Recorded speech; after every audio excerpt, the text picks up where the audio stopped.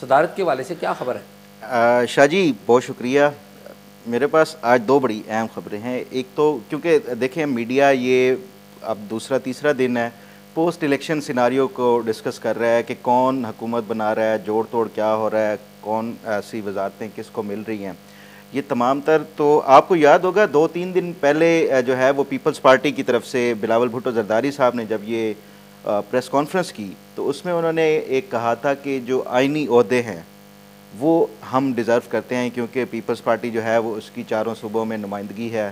तो आइनी उहदों में कौन कौन से आते हैं? एक सदर का आता है आ, उसके अलावा स्पीकर और नहीं नहीं उन्होंने कह दिया था कि सदर जो है ना वो जरदारी साहब जरदारी अब आप बताएँ अगली खबर क्या है? अब अब खबर ये है कि जो मेरे पास इंफॉर्मेशन है कि जो आरिफ अलवी साहब हैं जो उन्होंने बतौर सदर पाँच साल किया है तो उसके बाद जो बड़ा घर है, वो अब इस सोच विचार में पड़ गया कि सदर को इस तरह का आना चाहिए जो कि कोई बड़ा नाम, जितना बड़ा नाम होगा तो उनके लिए हेडेक ज़्यादा होगी।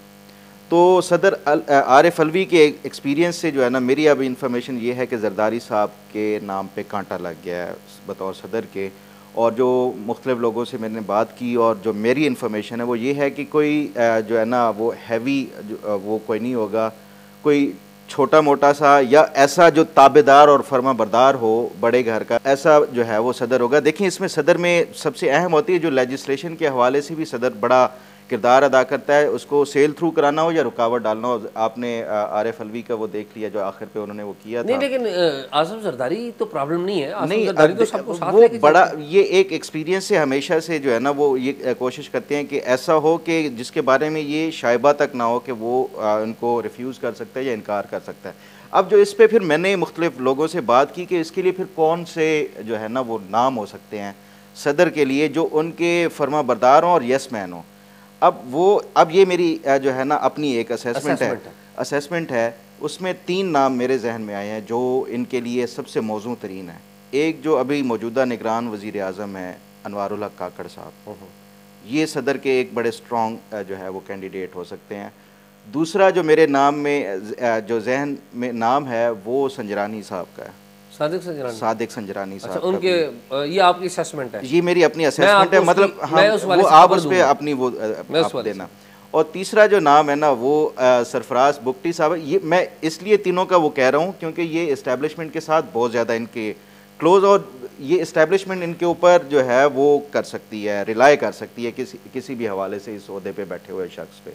तो सदर जरदारी साहब का जो है ना मुझे नहीं लगता। हाँ अगर पीपल्स पार्टी ने बहुत ज़्यादा इस पर वो किया कि हम हुकूमत में नहीं बैठते या हम कोई हकूमत साजी में फिर किरदार नहीं करेंगे तो उसके बाद ये हो सकता है कि पीपल्स पार्टी की तरफ़ से कोई और आ जाए छोटा नाम आ जाए जरदारी साहब के हवाले से जो है ना अभी फ़िलहाल तक के लिए कोई कांटा लग चुका है। अच्छा मैं वैसे मेरे लिए बड़ी खबर होगी। मेरे चूँकि ये मेरे पास खबर नहीं है आपने खबर दी है हम्म। और मैं आप पे डाउट नहीं करता हूँ। हम्म। लेकिन मेरे लिए बड़ी हैरान कन बात है। और लेकिन अगर मैं पैटर्न देखूँ ना कि अगर नवाज़ शरीफ आउट है तो फिर जरदारी साहब भी आउट करने का ख्याल तो आ सकता है ना हम्म। ठीक है?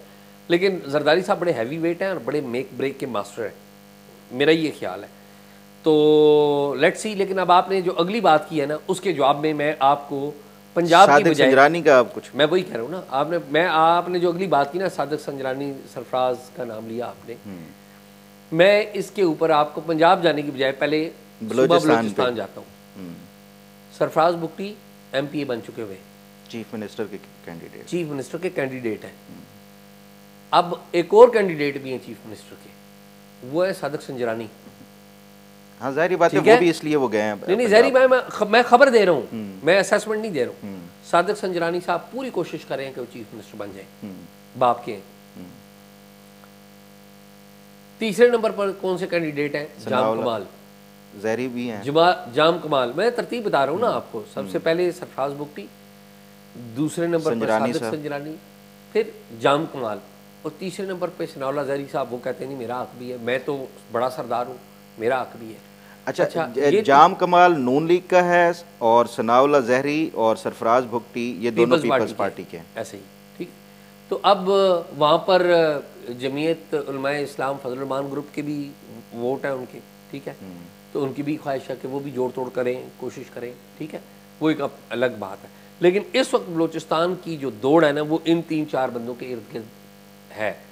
अगर इस्टेब्लिशमेंट ने और सियासी जमातों ने आ, हाथ रख दिया सरफराज बुकटी के ऊपर जिसको पहले वो मा, माजी में आजमाया हुआ घोड़ा जिसे कहते हाँ, हैं ना। बलोचिस्तान में भी वज़ीर दाखिला रहा मरकज़ में वज़ीर दाखिला रहा सेनेटर रहा है और आजमाया हुआ घोड़ा है। परफॉर्म किया ना उसने ठीक है? जो मौकफ था वो जो दिया गया मतलब वो उसने किया है। सादक संजरानी भी आजमाया हुआ घोड़ा है लेकिन उसकी जो एक्सपीरियंस है वो यहाँ पे की सेनेट है। की सेनेट की है। आ, जो सनाउल्ला जहरी है वो भी बलोचिस्तान का है लेकिन कमज़ोर आदमी आपको पता है उससे इस्तीफा ले लिया गया था नॉन सीरियस टाइप का। ठीक है। तीसरी बात यह है कि जाम कमाल वो भी आजमाया हुआ आदमी है क्योंकि जाम कमाल भी वजी अला रह चुका है लेकिन जाम कमाल का मामला ये है स्टेट मिनिस्टर यहाँ पे मरकज में भी रहा है मरकज़ में भी रहा है लेकिन जाम कमाल का मामला ये रहा है स्टेट मिनिस्टर रह चुका है सॉरी लेकिन जाम कमाल साहब बाप छोड़ के नून लीग में गए।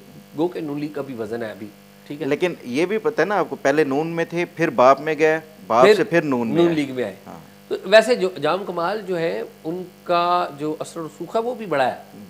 उनके ताल्लुकात जो बड़े हैं है ये जी, मतलब जी। बड़े एक सरकर्दा उसमें से आते हैं। अच्छा एक बात ये हो गई। तो इसलिए देखे ना सदर का जो अहदा है ना वो वज़ीर अला के अहदे की बनस्बत गैर मौसर है। सारे इख्तियार वजी अजम उतना बाख्तियार नहीं होता जितना वजी अला बिल्कुल। तो ना सरफराज बुकटी मैं आपको मालूम दे रहा हूँ। ना सरफराज बुकटी चाहता है कि वो सदर बने।